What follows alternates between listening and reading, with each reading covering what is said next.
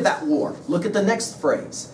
Testing whether that nation or any nation so conceived and so dedicated can long endure.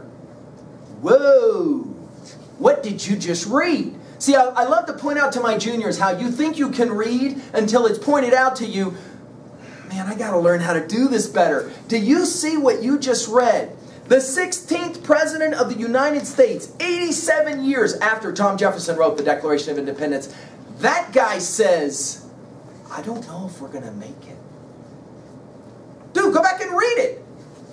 We are now engaged in a great civil war, testing whether that nation or any nation so conceived and so dedicated can long endure. I don't know if we're going to. Any of us that ever been on a ball club where there was this happening? Any of us that ever been in families where this kind of thing was happening? Any of us that stood there and watched one of those parents drive away? We, we know what it feels like to watch the end of something. Lincoln didn't know if it was going to work out.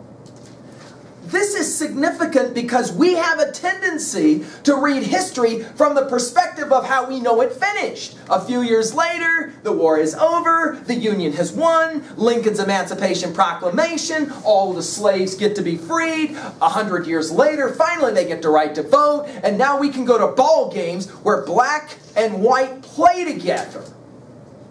Of course, it worked out. Dude, it's fine. We're all fine we read history from the perspective of looking backwards from where we are.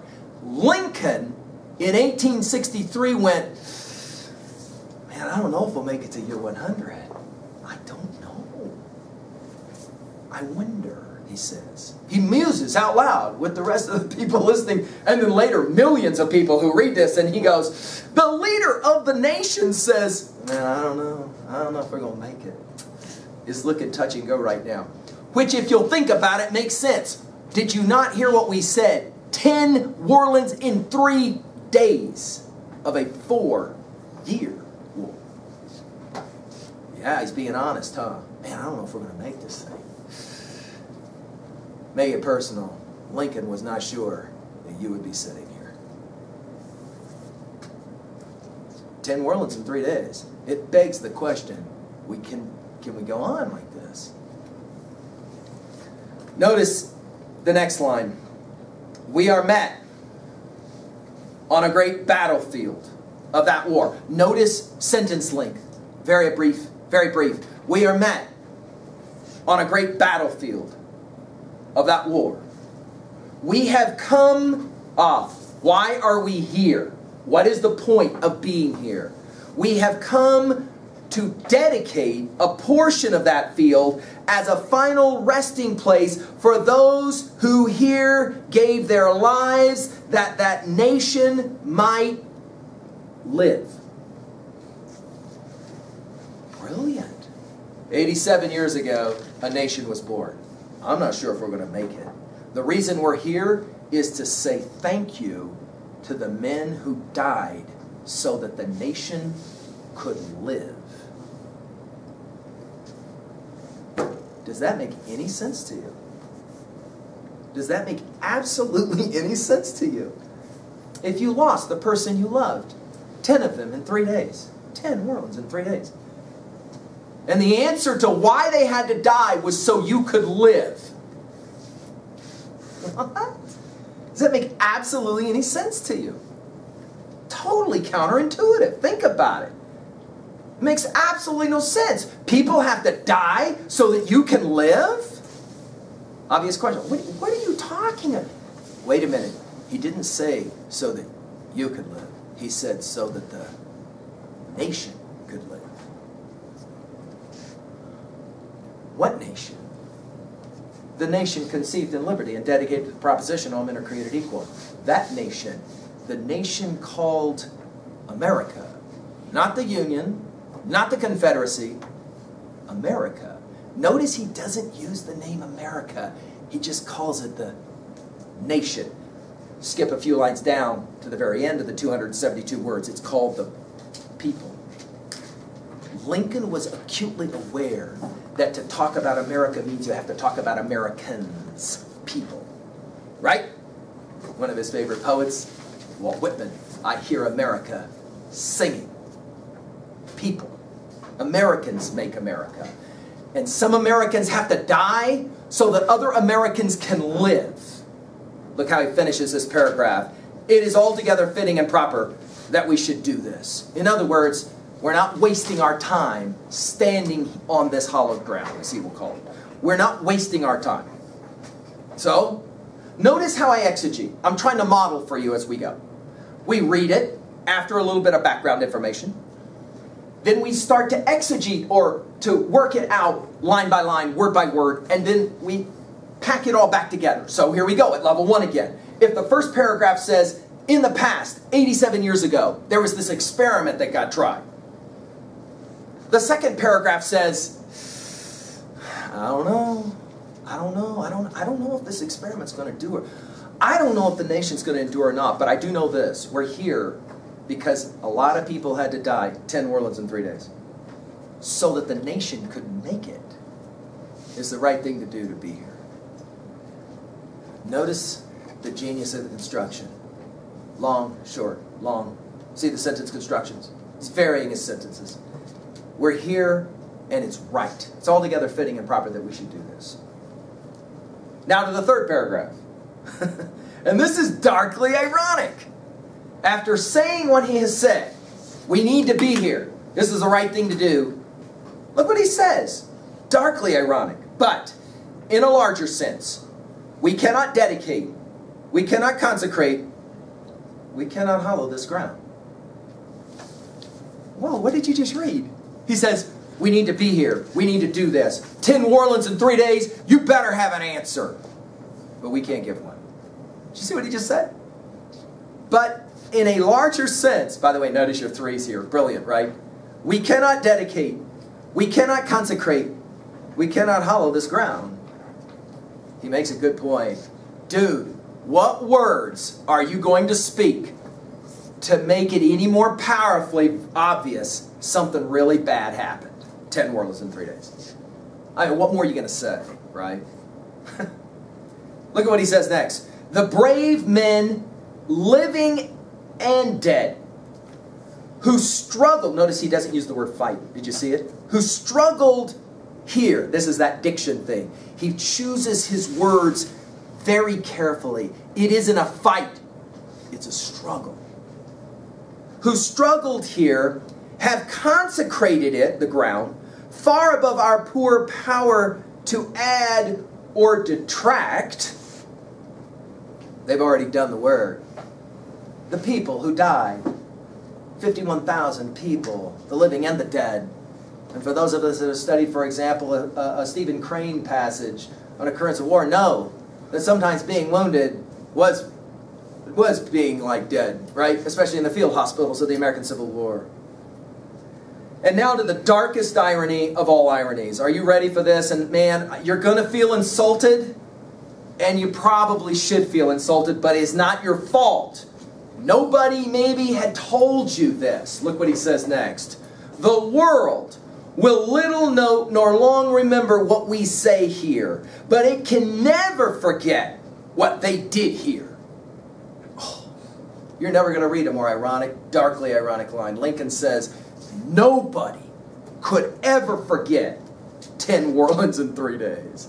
And I have juniors that go, dude, until you told me that, I never knew that. But if I were to say to you, the Gettysburg Address, most of you would go, oh yeah, I remember that was on a worksheet in eighth grade, something about some, some president or some guy that looked funny in a funny hat and had a beard or something.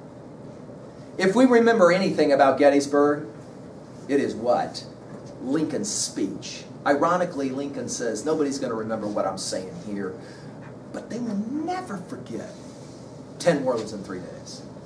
Which does beg a really intriguing question. How can you not know that?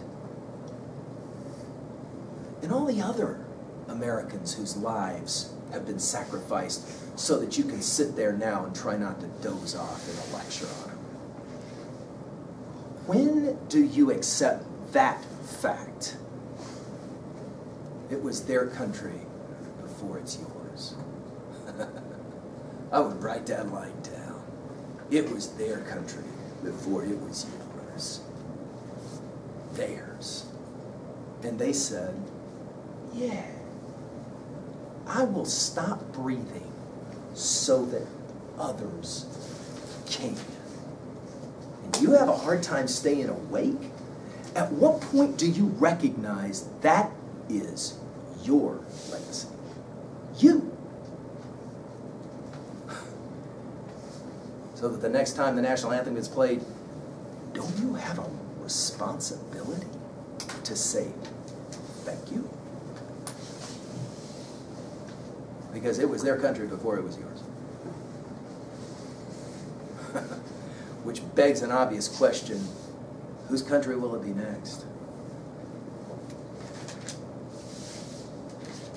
Hmm.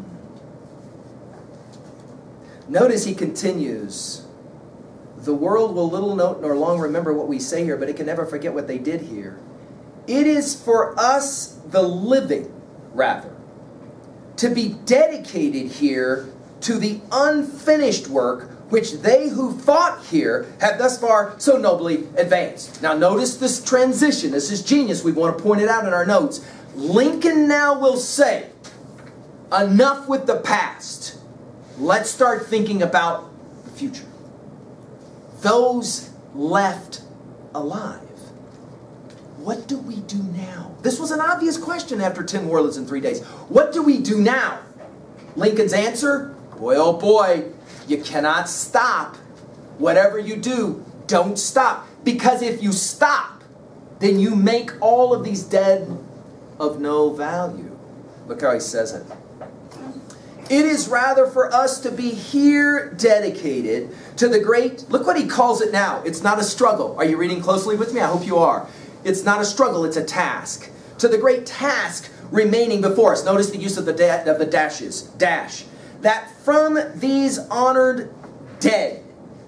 Notice he calls them honored dead. Notice he doesn't call them Confederacy or Union honored dead. He just calls them honored dead. We take increased devotion to that cause for which they gave the last full measure of devotion. Notice all the parentheticals with that. By the way, if you want to go back and study the Declaration of Independence, second paragraph, we hold these truths to be self evident that all men are created equal and endowed by their Creator with certain unalienable rights, that among them are life, liberty, the pursuit of happiness, that to secure these rights, governments instituted among men. Lincoln is following the exact same pattern of the Declaration of Independence. Jefferson's genius, Lincoln's just going to follow it. Notice that we here highly resolve, make up our minds, that these dead shall not have died in vain.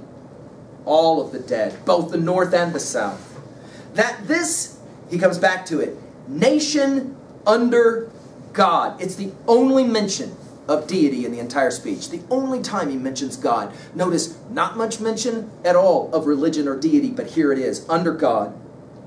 Shall have a new birth of freedom. Notice he doesn't use the word liberty. Here it's freedom instead. He began with birth. Four score and seven years ago, our fathers brought forth on this continent, a new nation, conceived. He began with birth, and now he ends with birth. A new birth, notice, of freedom. And that, now he's not going to call it a nation, he's going to call it a government. The same language that Jefferson will use in his Declaration of Independence. That government, notice your, your trinities, your threes, of the people, by the people, for the people. Jeffersonian democracy. All you got to do is go back and look at the Declaration of Independence, and there it is. That's Jeffersonian democracy through and through. It's perfect right there. Of the people shall not perish from the earth. Did you see the last phrase? It may be all over. We may not make it. But he says, I hope we do. Because if we make it, that's the tribute to all these dead. Ten Moreland in three days. I mean, if you can't sit up and at least pay attention to that, then I think maybe you need to check your moral compass. Because that is what Lincoln will challenge us to do. A nation, a government of the people, by the people, for the people. You hear people say, I hate the government. Lincoln would not understand that. He would say, dude, you are the government. You are the nation. It is you. America is Americans. That's you. All right, let's finish our exegesis now quickly, shall we? At level one, I think we've done our job. At level 2A, go ahead and jot down at least one message that you can derive from a classic essay like this, a classic persuasive speech like this. Obviously, one of the central ones is we have to understand what it means when this many people die. And what is it that they died for? A new birth, a birth of freedom, of liberty, which of course is going to brilliantly finish the circle from 87 years ago in Jefferson to now right? Another possible message America is Americans. That's the central key, right? Let's jump to 2b really quickly. I've already mentioned so many different things here again. Notice the power of trinities, of threes. Notice the modulation of sentence length. That's also highly important. Notice length of essay. This speech is so short, right? I've spent way more time talking about this speech than the speech itself. Of course, to be fair, when this thing is published, people start dissecting it and they go, oh, this guy is genius. He said so much in so few words.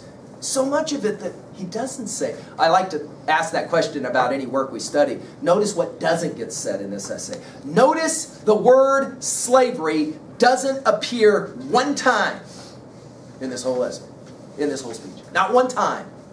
Why are we fighting this thing? The emancipation of slaves. Nope. We're fighting this thing for freedom, for liberty. Whose freedom? Right. That's right. That is right. Because all Americans have to be free. Slave owner and slave. Brilliant. Let's look, let's look now at 3A. Other texts that come to mind, I've already mentioned, obviously, Martin Luther King Jr.'s famous I Have a Dream speech. It works so nicely. To study the Declaration of Independence, then the Gettysburg Address, and then MLK Jr.'s I Have a Dream speech. Oh, by the way, the last time I counted, that's three.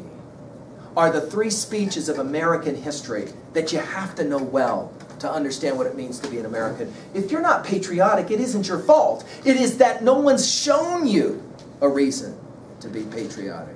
If you can look at those three documents and not have some sense of loyalty to your country, then you need to check your moral compass. That would be the encouragement of Jefferson, Lincoln, and MLK, as well as this old man. Let's talk really quickly at 3B. What is it for you to mean to be an American? What do you think of memorials? What do you think of the idea of dying for your country? What do you think when you say the Pledge of Allegiance and that pledge to a flag? So many people have died for. Three days, 10 words. Blows our mind even now to think about it. All the millions and millions of people who have died so that you can sit in a room and ask, what does it mean to be an American? What does it mean to be a patriot? What does it mean to be a citizen of a great country? These are questions I think at 3B that we have to engage. I think it's worth our time to try to give some thought to it. Thank you for your kind attention. I'm glad that we were able to introduce the text to you.